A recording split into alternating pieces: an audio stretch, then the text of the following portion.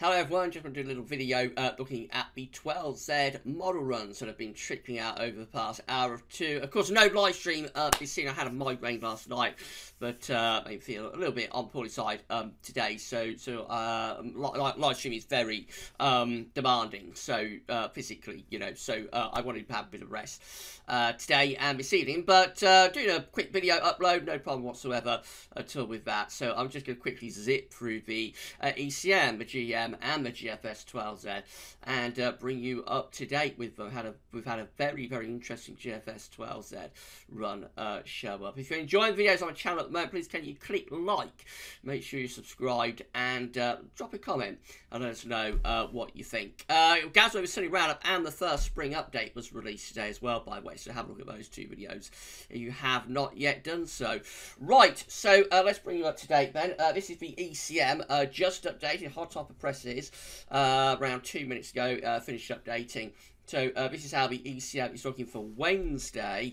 So uh, got a ridge through the country on Wednesday, going to be quite cold. We'll bring a system in from off the Atlantic. That could bring rain, sleet and snow uh, across the country. Really struggling to get this low through the country as it comes up against the high pressure over uh, Scandinavia. And then we build a ridge um, on Friday and into uh, Saturday, so it turns drier.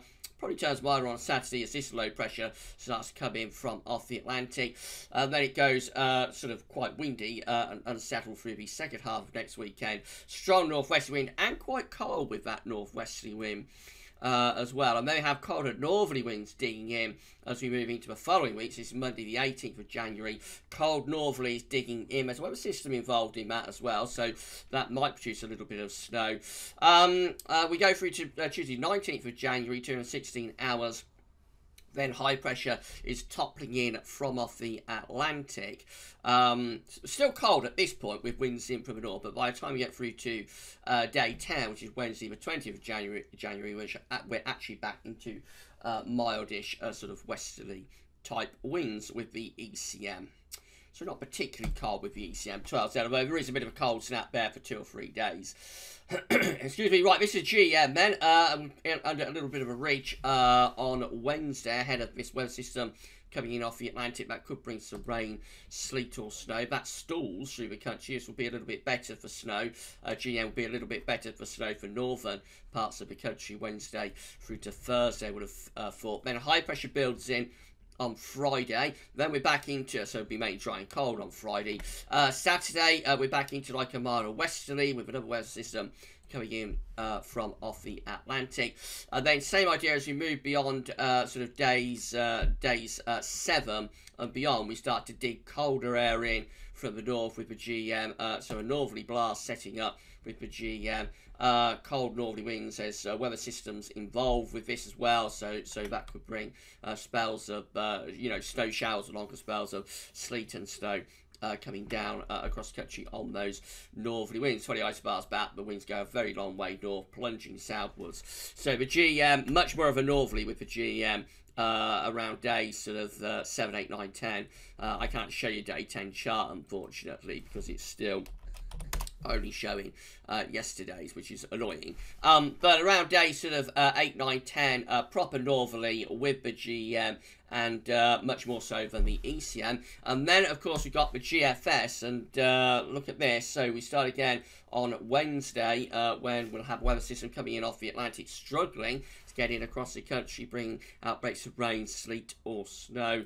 Uh, as we head on into Friday and through to the weekend, we'll have quite a bit of high pressure down to our south and southwest. Low pressure will be up to the northwest. So into next weekend, probably turning more and with outbreaks of rain in the north. But then again, same idea with the GFS, just a little bit differently, but same idea with the GFS uh, as with the GEM uh, in that low pressure begins to plunge southwards. This is setting up much more of a Greenland high. That's the difference with the GFS compared to the GEM and also the particularly the ECMWF. It sets up a proper blocking uh, feature again at 1050 uh, millibars or 1045 millibars over Greenland and that turns the wind into the north. This is a proper sustained northerly blast as we move up towards day 10. So that's how look with the GFS 12 as we get to uh, day 10 which is Wednesday 20th of January uh, we've got cold air established across not just the UK but much of Northern Europe and low pressure coming in off Atlantis having a go uh, displacing that cold weather. Uh, look at the upper temperatures. I've got minus 10 Celsius ice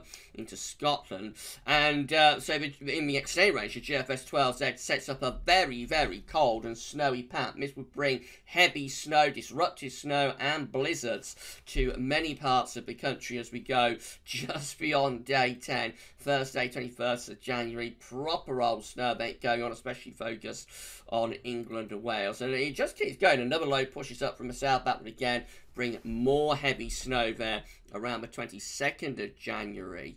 Uh, and, and, a very cold east northeast wind setting up as well. Um, so, so this has everything very cold and also really snowy uh, and, you know, snow drifts, blizzards, all of that going on.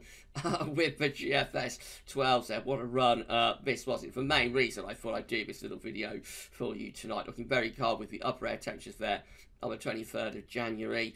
Uh, we tried to bring a next the, the, next low in off the Atlantic. Tried to bring something a little bit milder in from the uh, Atlantic, but we actually finished up taking below to the east and pulling back cold northerly and easterly winds uh, again by the GFS 12Z 26th of January. An absolute classic, uh, classic GFS 12Z run um, tonight. Uh, imagine if we'd been live streaming that.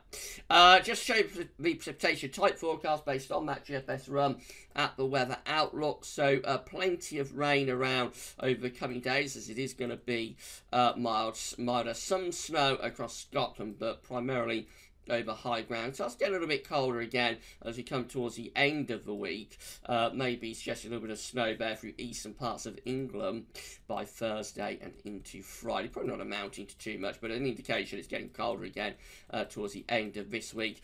And uh, then we go into the following week, and this is when we start drawing in that cold air from the north. And look how snowy it starts to get. So initially, the heavy snow uh, around the 20th of January, uh, that's day 10, of course, is over Scotland. Um, but then the south starts getting it, so really heavy snow coming into the south of England and Wales. Uh, beyond that, another big snow event there sometime around 21st of January. Um, and snow just keeps on coming. Another really big snow event there, 22nd of January. I mean, if it came off, the country would buried, but bear in mind it's very unlikely to verify. Almost certainly it won't verify. But, um, but yeah, you don't see uh, snowy runs like this all that often uh, to be honest. Uh, more snow battle, about more snow battle on the 25th of uh, January, more way of rain in the southwest, but lots of heavy snow further northwards and eastwards um, as well. So, so yeah, what a what a 12Z uh, from the GFS uh, tonight. Very, very entertaining if you like cold and snowy weather. Right, if you've enjoyed this uh, little 12Z update, please can you click like, make sure you subscribe to our channel. Don't get to tell your friends about GavsWeatherVids and let us know in the comments what you think. Thank you, thank you so much, everybody doing that. If you subscribe, you'll be able to see future weather content and we'll keep you updated as we progress on through this uh, winter. And if we get anything like the GFS 12s, then uh, we're really going to be in for some snowy times. But again, it's very unlikely to verify. Right, uh, that's it for videos uh, for today. Then, so I just want to do this little little uh, skip through the 12Z. Um, so that's it for videos for today. Tomorrow we'll bring you up to date with all of the latest happenings and developments, of course. But uh, for this video and for today's videos, that's all for now. And thanks for watching.